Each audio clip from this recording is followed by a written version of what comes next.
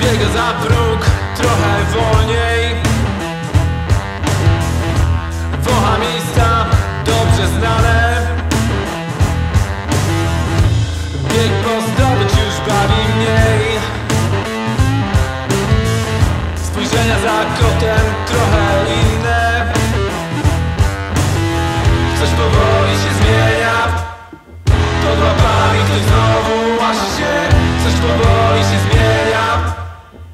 for Bobby, just know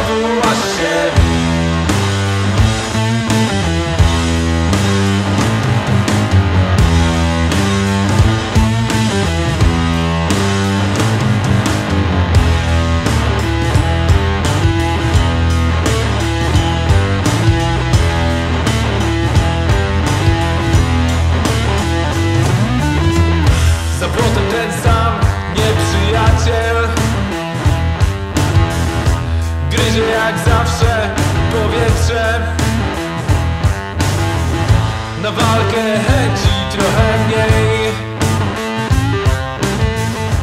Czeka miejsce Od mojej prawej Lukas Talka Barberia. Mateusz Salon Fryzur Męskich, reprezentant mi Trójmiasta, tutaj reprezentant Warszawy i Mateusz Delma-Delmański, Buttercut e, Kraków. I za chwilę robimy taką małą zamianę, że tamtych klientów dokończy Michał z Bartkiem, a chłopaki będą polewać piwo. To może Michał co? Opowiedz o, o tym piwie, parę słów powiedz. Ja może powiem, dlaczego zacząłem nosić brodę i golić ją Mateusza. E, Brodę noszę od jakiegoś półtora roku, a po prostu musiałem ją zapuścić, bo nikt mi nie chciał sprzedawać w sklepie piwa bez pokazywania dowodu. I dodaję ją na parę lat. A dzięki goleniu jej u Mateusza mam prawdziwą przyjemność jej noszenia i poznałem właśnie klimat prawdziwych barbershopów, gdzie strzygą się mężczyźni, są suche żarty i, i się dobrze czuję po prostu. Poczuliśmy to też razem z Bartkiem i dlatego uważaliśmy takie piwo. Datku? I ja mogę Was tylko wszystkich zaprosić do próbowania dzielenia się opijami. Bawimy się dzisiaj e, do późnych godzin nocnych. Dzięki. Trochę żart oddalny, słuchajcie.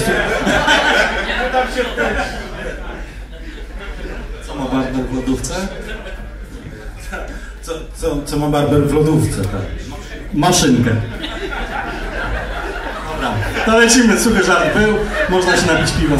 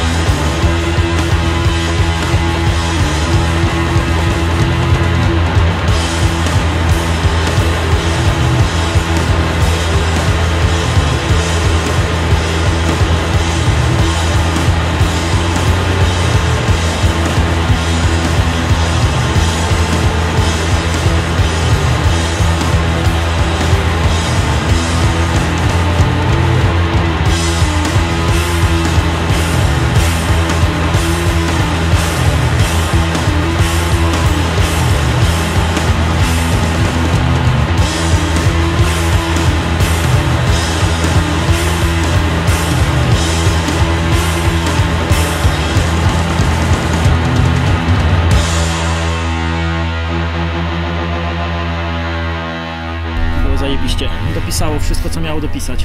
Y, Barberzy, Meble, piwo, meble z grupy większej pół. meble, e, Piwo się skończyło. Jak wiecie, ja lubię zjeść, czyli burgery też dopisały. A piwo jasne. dopisało. Broda, brodacze dopisali, e, Dolne Miasto nam dopisało aurą, pogodą, wszystkim co trzeba. Wszyscy Więc, potrafią tu pisać w ogóle, Tak, tak, tak. po polsku.